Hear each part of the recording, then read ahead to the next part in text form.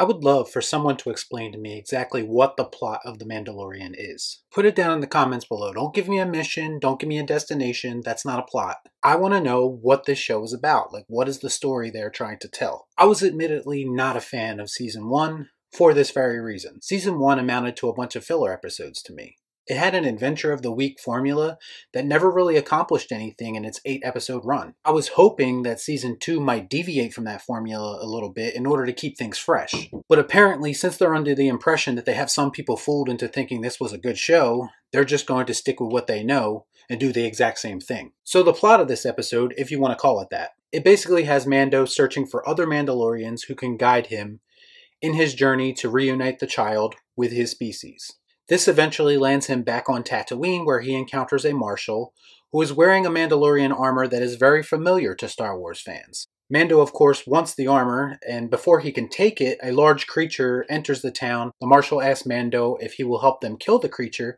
In exchange for that, he will give him the armor. Stop me if you've heard this before, but it's another adventure of the week that has little to do with an already non existent plot. It's good to see that this show is growing, right? Plus, I was thinking, wouldn't it be a lot easier to just kill the marshal and take the armor rather than travel into the desert and find this creature that lives in a cave and lure him out and attempt to blow him up. It just seems a bit unnecessary for someone like Mando who is very good at killing. But Mando agrees to the deal anyway because why wouldn't he? They also enlist the help of some Tusken Raiders who also want the beast to be killed. Call me crazy, but I've never known Tusken Raiders to be much for the conversation or the reasoning, at least until this show existed. Ultimately, it all works out and Mando ends up killing the beast and he obtains the armor and leaves. But as he speeds off into the desert, we see a man watching him from a cliff nearby. That man is presumably none other than Boba Fett. I will say it's the same actor who played Jango Fett in Attack of the Clones. So technically, it could also be a former stormtrooper because they were clones of him as well. But we're just going to assume it's Boba Fett because that seems like the most logical option. And honestly, this reveal might irritate me more than anything.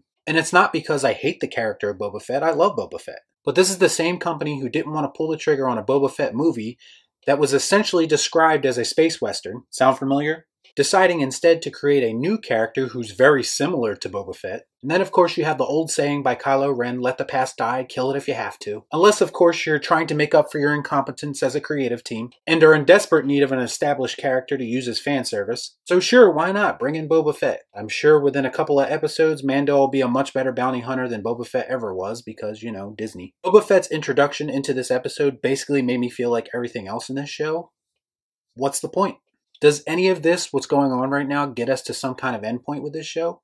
The answer is not really. It's just another pit stop until Disney decides where it's going. The show doesn't know what it wants to be, it has no identity. I love the Western tropes that it uses, but everything around it just seems so hollow to me. They have flashbacks to when after the Empire fell and basically showing how that affected people on Tatooine. The Mandalorian has done stuff like this here and there, but that's the kind of stuff that's interesting to me. Give me more of that. Give me a reason to care. This formulaic approach that you've taken with this show doesn't really offer anything new. The Mandalorian takes place across the whole galaxy, yet somehow it feels so small. I was hoping for a change of pace with season 2, but after one episode, it's just more of the same. More power to you if you like it, but I can't help but think that people are attracted to this show just because it's less shitty than what we've already gotten from Disney Star Wars. On the bright side, they didn't lean on Baby Yoda as much as I thought they would in this episode. But I'm sure they're going to milk that gimmick for all it's worth by the end of this season. We'll see how it all turns out, but honestly, I'm just not impressed and I really don't understand the hype it gets. So did you see the first episode of season 2 entitled The Marshal?